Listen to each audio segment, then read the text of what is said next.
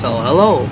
Uh, about a year ago, I uploaded a video titled Maling luncheon meat is made out of human meat. which is clearly a joke. I'm ripping off Filthy Frank.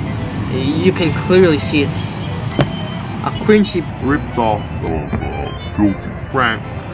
my uh, my content transitioned, you know. Uh, last year, I used to upload like shit, you know. I, I uploaded very consistently, and I I think I just got lazy doing videos because I don't feel like it anymore. Out there, let's talk about this. It got almost 11,000 views for some fucking reason I don't know.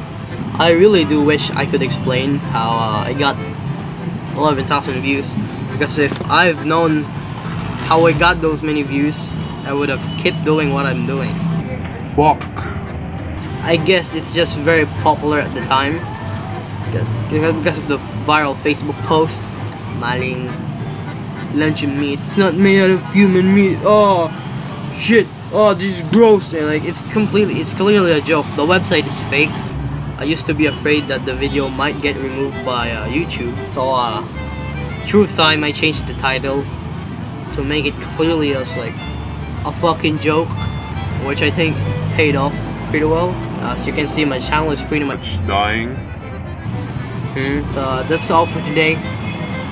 Uh, I'll be I'll be uploading next fucking Friday. Goodbye everyone. Thank you for watching the video. Peace out.